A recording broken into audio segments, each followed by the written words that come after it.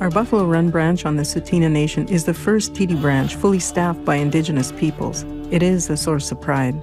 At TD, we're continuing to support Indigenous communities, part of our commitment to a more inclusive tomorrow.